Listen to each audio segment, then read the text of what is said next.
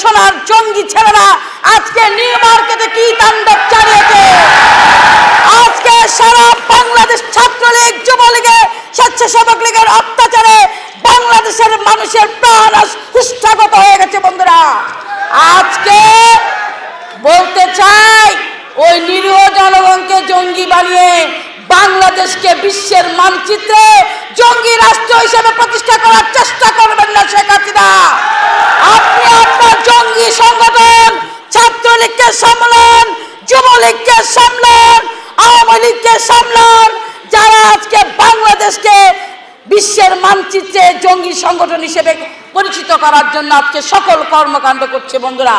প্রিয় সাথী এবং বন্ধুরা, আজকে তাই বলতে চাই, আমাদের নেত্রী, দেশের নেত্রী বেগম খালেদা জিয়া বলেছে, এই বাংলাদেশে বহুদলীয় গণতন্ত্র প্রতিষ্ঠা করতে হলে বাংলাদেশের মানুষের ভোটের অধিকার ফিরিয়ে আনতে হলে বাংলাদেশে বহুমত প্রতিষ্ঠা করতে হলে আসুন আরেকটি যুদ্ধের প্রস্তুতি গ্রহণ করি। আসুন বিজয়ের দিনে আমরা দীপ্ত শপথ গ্রহণ করি। এই শেখ হাসিনা নব্য হিটলার, শেখ হাসিনার পতন না হওয়া পর্যন্ত আমরা কেউ ঘরে ফিরে যাব না। ষোলোই ডিসেম্বর আর স্বাধীনতা দিবস, আওয়ামী লীগের পোস্টারে লেখা। সেই পোস্টারে বর্তমান প্রধানমন্ত্রীর ছবি রয়েছে। আওয়ামী লীগের সাবেক এমপি এবং কেন্দ্রীয় নেতা ডাক্তার মুস্তফা জালাল মহিউদ্দিনের ছবি রয়েছে এবং স্থানীয় আওয়ামী লীগের নেতাদের ছবি রয়েছে। পোস্টারের মধ্যে লেখা আছে, ষোলোই ডিসেম্বর মহান স্বাধীনতা দিবস। এখন এই যে এই যে মুক্তিযুদ্ধের ফেরিওয়ালারা, যারা মুক্তিযুদ্ধকে ফেরি করে করে বিক্রি করে রাস্তাঘাটে, সেই মুক্তিযুদ্ধের ফেরিওয়ালারা তারা নিজেরাই জানে না কোনটা স্বাধীনতা দিবস আর কোনটা হচ্ছে বিজয় দিবস। এই হচ্ছে আওয়ামী লীগের মুক্তিযুদ্ধের চেতনা। আওয়ামী লীগের মুক্তিযুদ্ধের চেতনা হচ্ছে মুক্তিযুদ্ধের সম্মাননা পদক। দেশি বিদেশে বীরদেরকে দেওয়া হয়, সেইখান থেকে সোনা চুরি করে পকেটে টাকা ভরে সেই টাকা বিদেশে পাচার করা সুইস ব্যাংকের গোপন অ্যাকাউন্টে রাখা। এইটা হচ্ছে মুক্তিযুদ্ধের চেতনা। আর এই নিয়ে যখন প্রধানমন্ত্রীকে প্রশ্ন করা হয়, প্রধানমন্ত্রী বলেন, স্বর্ণকাররাও তো মায়ের কানের সোনা চুরি করেছে। আমরা যে পদক দিয়েছি, এইটাই তো বড় কথা। এই মুক্তিযুদ্ধের চেতনায় বাংলাদেশ জাতীয়তাবাদী দল বিশ্বাস করে না। বিশ্বাস করে না বলেই গতকালকে মাত্র ছয় ঘণ্টার নোটিশে দলীয় কার্যালয়ের সামনে থেকে যে বিজয় মিছিল আপনারা করেছেন, ঢাকার রাজপথে রাজধানীতে রাজপথ প্রকম্পিত করে বাংলাদেশের ছাপ্পান্ন হাজার বর্গ মাইলের মধ্যে টেকনাফ থেকে তেঁতুলিয়া, রূপসা থেকে পাথুরিয়া পর্যন্ত জাতীয়তাবাদীর প্রত্যেকটি সৈনিক নতুন করে আবার উজ্জীবিত হয়েছে, নতুন করে প্রাণ সঞ্চারিত হয়েছে, নতুন করে তারা শপথ নিয়েছে। এই ধানের শীষ তাদের প্রাণের প্রতীক, এই ধানের শীষ মৌলানা আব্দুল হামিদ খান পাশানির প্রতীক, এই ধানের শীষ শহীদ রাষ্ট্রপতি মেজর জেনারেল জিয়াউর রহমান বীরুত্তমের প্রতীক। এই প্রতীককে বুকে ধারণ করে বিজয়ের এই মাসে ধানের শীষের বিজয় নিয়ে আসতে হবে। জনগণকে সাথে নিয়ে এই শপথ তারা আবার গ্রহণ করেছেন। আজকের এই বিজয়ের দিনে নতুন করে বিজয়ের রক্তিম শুভেচ্ছা জানিয়ে বলতে চাই, শহীদ রাষ্ট্রপতি জিয়াউর রহমানকে আইন করে, ঘোষণা করে, সংবিধানে লিপিবদ্ধ করে বাংলাদেশের জাতির পিতা কিংবা জাতীয় নেতা বানানোর কোনো প্রয়োজন পড়ে না। বাংলাদেশের ছাপ্পান্ন হাজার বর্গ মাইলের মধ্যে আট বছরের শিশু থেকে আশি বছরের বৃদ্ধ পর্যন্ত প্রত্যেকের হৃদয়ের ফ্রেমের মধ্যে জিয়াউর রহমানের ছবি বাঁধানো রয়েছে। এই ছবি টানানোর জন্য কোনো বিডিআর লাগে না, কোনো পুলিশ লাগে না, কোনো র্যাব লাগে না, কোনো আইন করার দরকার করে না। হৃদয়ের মণিকোঠায় যে ছবির স্থান, সেই ছবি কেউ কোনোদিন মুছতে পারবে না।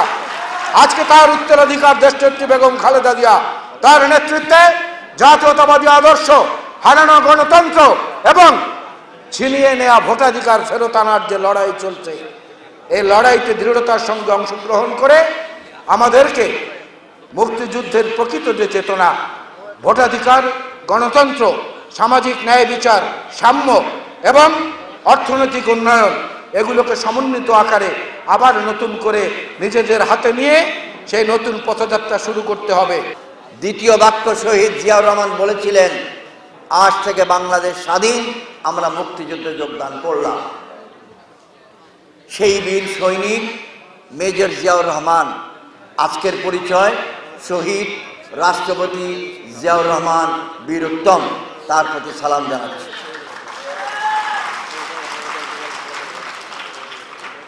তবে একথাও সত্য, রণাঙ্গনের নয় মাসের মুক্তিযুদ্ধ ছিল দীর্ঘ তেইশ বছরের রাজনৈতিক সংগ্রামের চূড়ান্ত অধ্যায়। তাই এই পূর্ব পাকিস্তান, এই বাংলা, এই বাংলাদেশের মাটিতে মানুষের স্বাধীনতা আনার জন্যে যেই রাজনৈতিক সংগ্রাম পরিচালিত হয়েছিল, সেই সংগ্রামেও যারা জনগণের জন্যে, দেশের জন্যে দেশের মাতৃ দেশের মাটির জন্যে জীবন দান করেছেন, তাদের প্রতি আমি সম্মান জানাচ্ছি। উনিশশো একাত্তর সালের মহান মুক্তিযুদ্ধ পরিচালিত হয়েছিল রণাঙ্গনের নেতৃত্বের অধীনে তাদের উপরে ছিলেন প্রধান সেনাপতি, তাদের উপরে ছিলেন একটি মন্ত্রী পরিষদ। আমরা সকল নেতৃত্বের প্রতি আমি একজন রণাঙ্গনের সৈনিক হিসাবে সালাম এবং শ্রদ্ধা জানাচ্ছি। আপনাদেরকেও মুক্তিযুদ্ধ সম্বন্ধে, শহীদ জিয়ার জীবন সম্বন্ধে, জাতীয়তাবাদী রাজনীতির মূল মন্ত্রগুলি সম্বন্ধে অবহিত হতে হবে, জানতে হবে। মুক্তিযোদ্ধা ইব্রাহিম আপনাদের নিকট আবেদন করছে যে আমাদের তরুণ বয়সে আমরা যেমন যুদ্ধ করে দেশটি স্বাধীন করেছিলাম, আপনাদের তরুণ বয়সে আপনারা গণতন্ত্র পুনরুদ্ধারে, অর্থনৈতিক উন্নয়নে, রাজনীতিতে সুস্থতা শালীনতা, ভদ্রতা ফিরিয়ে আনার জন্যে এবং গণতন্ত্র আনার জন্যে সংগ্রাম যে করবেন, তার পিছনে জ্ঞান থাকবে, ভদ্রতা থাকবে, অঙ্গীকার থাকবে, আবেগ থাকবে। এখন থেকে তিন দিন আগে, ষোলোই ডিসেম্বর মহান বিজয় দিবসে আমি বঙ্গভবনে মহামান্য রাষ্ট্রপতি কর্তৃক প্রদত্ত রিসেপশনে দাওয়াত পেয়েছিলাম। যেমন আরও হাজার হাজার মানুষ পান এবং উনিশশো আশি সাল থেকেই আমি পাই। দাওয়াত পেয়ে গিয়েছিলাম। যে কোনো আমার বোধের বাইরে, আমার বুঝার বাইরের কারণে আমাকে গেট থেকে ফেরত দিয়ে দেওয়া হয়। আমি ব্যক্তি হিসাবে তার প্রতিবাদ করি। দুটো কারণে। আমার তিনটি পরিচয় ন্যূনপক্ষে আর চারটি পরিচয় অবশ্যই আমি উনিশশো একাত্তর সালের রণাঙ্গনের একজন মুক্তিযোদ্ধা এবং বীর প্রতীক খেতাব পাওয়া। দ্বিতীয়, আমি বাংলাদেশ সেনাবাহিনী, একজন অবসরপ্রাপ্ত মেজর জেনারেল। তৃতীয়, আমি একটি নিবন্ধিত রাজনৈতিক দলের চেয়ারম্যান। এবং চতুর্থ, আমি বাংলাদেশের বৃহত্তম রাজনৈতিক জোটের অন্যতম শরিক দলের প্রধান। অতএব, আপনি আমাকে গেট থেকে ফেরত দিয়ে এই চারটি পরিচয়ের মধ্যে কোন পরিচয়টিকে অপমান করলেন, দেশবাসী সেটা বিচার করবে। দেশের স্বাধীনতা অর্জনের জন্যে জনতার একজন হয়ে বহু যুদ্ধে অংশগ্রহণ করেছে। আমার কমান্ডার ছিলেন দেশের একজন সুপরিচিত মুক্তিযোদ্ধা, স্বাধীনতার ঘোষক, জেড ফোর্সের অধিনায়ক শহীদ রাষ্ট্রপতি জিয়াউর রহমান। কেবলমাত্র স্বাধীনতা ঘোষণা করেই শহীদ জিয়া তার দায়িত্ব শেষ করেননি তিনি রণাঙ্গনেও বীর বিক্রমে যুদ্ধ করেছেন।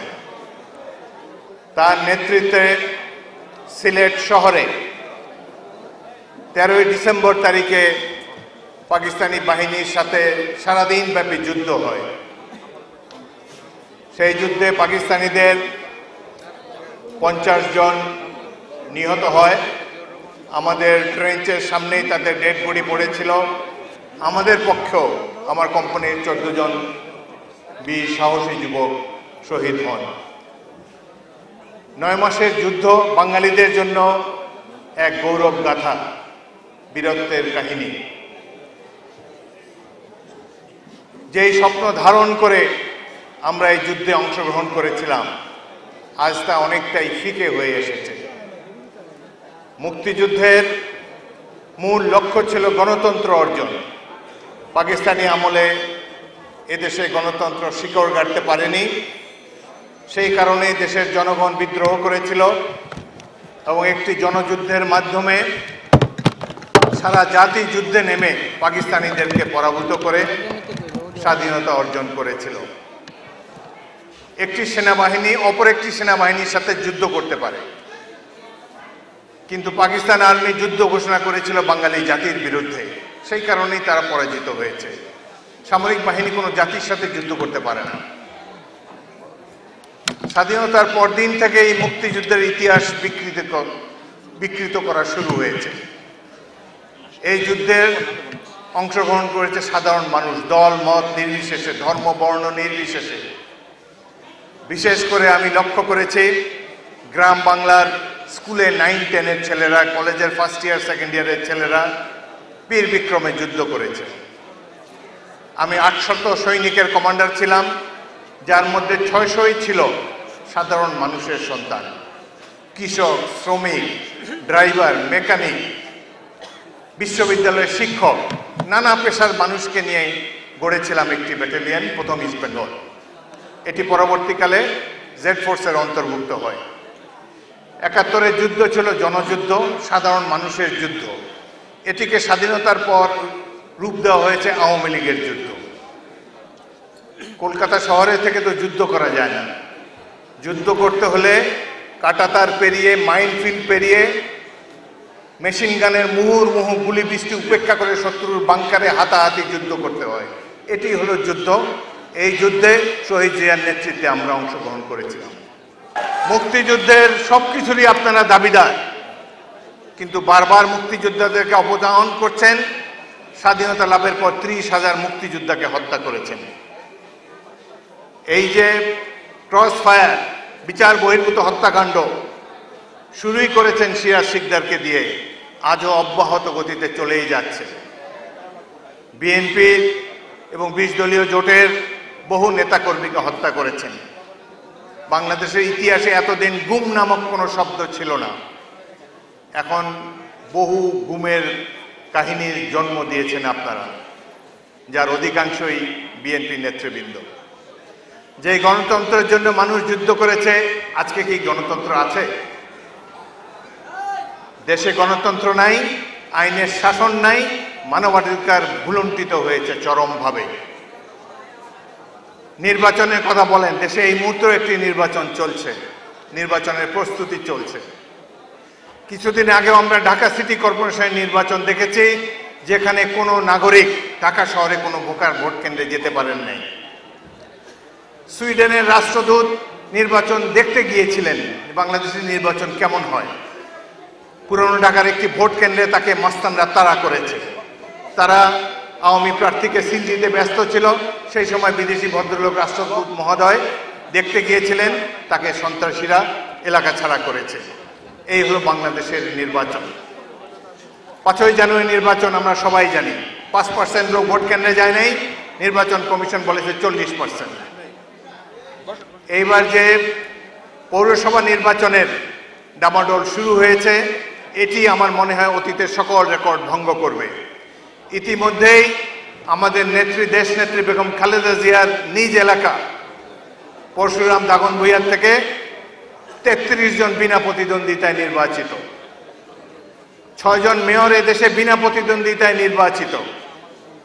বিএনপির প্রার্থীদের কাছ থেকে দুদিন আগেও চাটখিলে বিএনপি প্রার্থীকে ঘর থেকে হাইজ্যাক করে নিয়ে অস্ত্রের মুখে তাকে দিয়ে প্রত্যাহার পত্রে সই করিয়েছে এবং সেই এলাকা থেকে আওয়ামী লীগের প্রার্থীকে বিনা প্রতিদ্বন্দ্বিতায় নির্বাচিত ঘোষণা করা হয়েছে। এই হলো নির্বাচনের নমুনা। আজকের এই দিনে জিয়া তোমায় মনে পড়ে। আজকের যে বিশেষ দিনটি সৃষ্টি হল, সেটা হচ্ছে পঁচিশে মার্চের ওই রাত্রে বাংলাদেশের যে স্বাধীনতা ঘোষণা করেছিলেন শহীদ প্রেসিডেন্ট জিয়া রহমান এবং যে ঘোষণার কারণে আমরা যুদ্ধে ঝাঁপিয়ে পড়েছিলাম এবং ঘোষণার পরিসমাপ্তি আমরা বিজয় ছিনিয়ে এনেছি, সেই বিজয়ের দিন আজকের এই ষোলোই ডিসেম্বর। কাজে এই দিন আমাদের জন্য আনন্দের, এই দিন আমাদের জন্য গর্বের, এই দিনটি আমাদের জন্য অহংকারের। চট্টগ্রামে বিপ্লব উদ্যান যে বিপ্লব উদ্যান থেকে শুরু হয়েছিল বাংলাদেশের স্বাধীনতা যুদ্ধ, যে বিপ্লব উদ্যানে ঘোষণা করেছিলেন শহীদ প্রেসিডেন্ট জিয়া রহমান বাংলাদেশের স্বাধীনতা, সেই বিপ্লব উদ্যানে শহীদ প্রেসিডেন্ট জিয়া রহমানের স্মৃতি বিজড়িত যেমন, তেমনি এই আওয়ামী লীগের প্রধান তৎকালীন শেখ মুজিবুর রহমান সাহেবের মূর্তিও সেখানে আছে। কাজে বিপ্লব উদ্যান থেকে যদি ঘোষণা না হতো, সেখানে শেখ মুজিবুর রহমানের মূর্তি কীভাবে আসলো? সেই মূর্তি তো জাতীয়তাবাদী দল দেয় নাই। কাজেই মুক্তিযুদ্ধের যে ঘোষণা, যে- ঘোষণা দেওয়া হয়েছে বিপ্লব উদ্যান থেকে, সেটা হচ্ছে ঐতিহাসিক সত্য দালিলিক প্রমাণ। আজকে আমরা এখানে যারা এসছি, ষোলোই ডিসেম্বরের বিজয় দিবস পালনের জন্য, সেদিন যে ছাব্বিশে মার্চ স্বাধীনতার ঘোষণা, এই স্বাধীনতার ঘোষণার বিরুদ্ধে শহীদ প্রেসিডেন্ট জিয়াউর রহমানের বিরুদ্ধে দেশনেত্রী বেগম খালেদা জিয়ার বিরুদ্ধে যে বক্তব্য, এর প্রেক্ষিতটা কি? এই প্রেক্ষিত হচ্ছে এই পরিবার মুক্তিযুদ্ধের জন্য জীবন দেওয়ার প্রস্তুতি নিয়ে এগিয়ে গিয়েছিল। সেক্টর কমান্ডার হিসাবে, মুক্তিযুদ্ধ, শ্রেষ্ঠ মুক্তিযোদ্ধা হিসাবে জিয়া রহমান তার কর্মের মধ্য দিয়ে সাক্ষ্য রেখে গেছেন। আর সেই বাংলাদেশ একাত্তর থেকে পঁচাত্তর সাল পর্যন্ত চার বছরের তারা যেটা ইতিহাস বলে সে চার বছরের ইতিহাসটা কি? চার বছরের ইতিহাস হচ্ছে কলা কলা পাতা দিয়ে দাফন করা মানুষের ইতিহাস। সেই ইতিহাস হচ্ছে না খাওয়ার ইতিহাস, দুর্ভিক্ষের ইতিহাস এবং রাজনৈতিকভাবে আজকে যে সবচেয়ে বড় বড় কথা বলে হাসানুল ইনু, কর্নেল তাহের এবং তাদের অন্যান্যরা যারা একাত্তর থেকে পঁচাত্তর পর্যন্ত, এই সময়ে তারা শেখ মুজিবকে উৎখাত করার জন্য সশস্ত্র লড়াই অবতীর্ণ হয়েছিল। এবং তারা তাদের বিরুদ্ধে আওয়ামী লীগের বক্তব্য নাই, কথা নেই। শহীদ প্রেসিডেন্ট জিয়াউর রহমান রাষ্ট্র ক্ষমতা, সামরিক বাহিনী প্রধান হিসাবে অথবা একজন রাজনীতিবিদ হিসাবে গ্রহণ করে নাই। তখনকার যে পরিস্থিতি ছিল, তখন ক্যান্টনমেন্টের ভেতরে সামরিক বাহিনীতে যে বিশৃঙ্খলা, সেই বিশৃঙ্খলাকে যদি সেদিন শহীদ প্রেসিডেন্ট জিয়াউর রহমানের নেতৃত্ব যদি সুসংগঠিত না করত, তাহলে বাংলাদেশে গৃহযুদ্ধে রূপান্তরিত হয়ে যেত। যে এই জায়গায় ওই আজকের ইনুরা একদিন বিচারের কাঠগড়ায় দাঁড়াবে বলে আমি দৃঢ়ভাবে বিশ্বাস করি এবং পঞ্চাশ জন অফিসারকে যারা হত্যা করেছে, কারা হত্যা করেছে, এর ইতিহাসও বাংলাদেশে কোনো না কোনো সময়ে আমরা জানব। ইতিহাস সেখান, ইতিহাস থেকে কোনো কিছুই বাদ যায় না। আমরা একথা বলতে চাই, মুক্তিযুদ্ধের দল হচ্ছে জাতীয়তাবাদী দল। মুক্তিযোদ্ধাদের দল বাংলাদেশ জাতীয়তাবাদী দল। কারণ এই মুক্তিযুদ্ধ এবং মুক্তিযোদ্ধার যে দল এই দল বাংলাদেশকে এটি আধুনিক রাষ্ট্রে পরিগণিত করতে চেয়েছিল, শহীদ প্রেসিডেন্ট জিয়া রহমান। তাই মুক্তিযুদ্ধকে সামনে রাখ- রেখেছে কীভাবে? বক্তৃতায় কথায় নয়। আমাদের যে ঘোষণাপত্র, আমাদের যে গঠনতন্ত্র, সেখানেই শুরুতেই রয়ে গেছে যে মহান মুক্তিযুদ্ধের যে সশস্ত্র লড়াইয়ের ইতিহাসের কথা আছে এবং সেই লড়াই, লড়াইয়ে যারা শাহাদত বরণ করেছে এবং সারা দেশের মানুষ ঐক্যবদ্ধভাবে যে লড়েছে, তার জন্যে এই দেশকে একটি সুন্দর, একটা শোষণমুক্ত দেশ হিসেবে গড়ে তুলতে হবে। এটাই হচ্ছে বাংলাদেশ জাতীয়তাবাদী দলের ঘোষণাপত্র।